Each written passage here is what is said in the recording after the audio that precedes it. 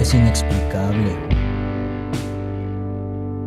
No soy científico, pero veo reflejada la perfección del universo justo aquí.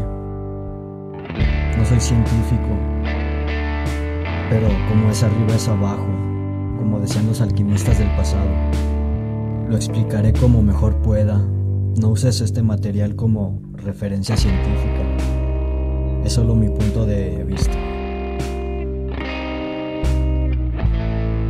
Dicen que cuando la materia explotó en un llamado Big Bang, se expandió y comenzó a enfriarse. También empezó a juntarse, formando entes masivos y masivos cada vez más.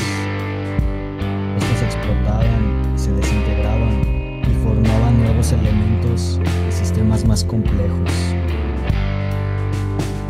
Después, galaxias brotaban por doquier.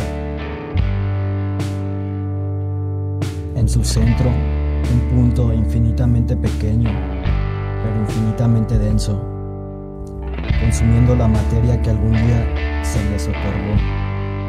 En forma de espiral, van avanzando y al mismo tiempo consumiendo y arrojando el producto de esa acción a su vez, es lógico pensar que ese material expulsado compone el supuesto vacío que cada vez se expande más.